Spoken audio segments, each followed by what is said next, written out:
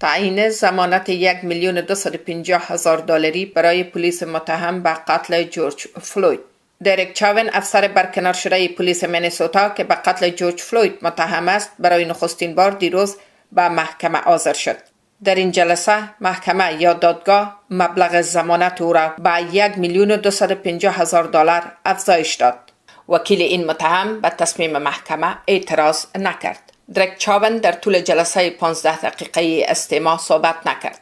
او در حال به خاطر ویروس کرونا از طریق ویدیو در محکمه حاضر شد که دستبند و لباس زندانیان را بر تن داشت. درک چاون 44 سال دارد و باید 20 روز بعد مجددا در دادگاه حاضر شود.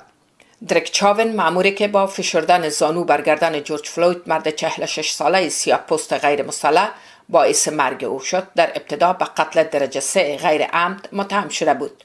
اما محکمه بدتر این اتهام را به قتل درجه دو تغییر داد. بر اساس اسناد محکمه سه افسر اخراجی حاضر در صحنه نیز به معاونت در قتل متهم شدند. انتشار تصاویر کشته شدن جورج فلوید در بازداشت پلیس جرقه اعتراض های شد که سراسر امریکا را فرا گرفت و به شهرهای بزرگ کشورهای دیگر نیز کشیده شد.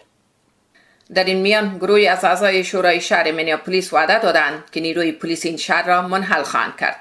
منیاپولیس همان شهر است که چهار مامور پلیس جورج فلوید را به زمین زدند و در حالی که دستبند به دست داشت با زانو روی کمر و گلوی او نشستند.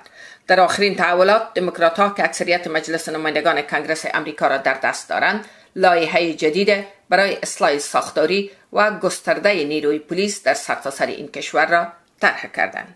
در این میان یک مرد سفید پست 36 ساله در ایالت ویرجینیا که با موتر به میان معترضان جنبش جان سیاه پستان مهم است رانده بود به اتهام امله و داخل شدن در داخل گروپ معترضان دستگیر شد و تحقیقات درباره احتمال جرم ناشی از نفرت نژادی درباره او آغاز شده است.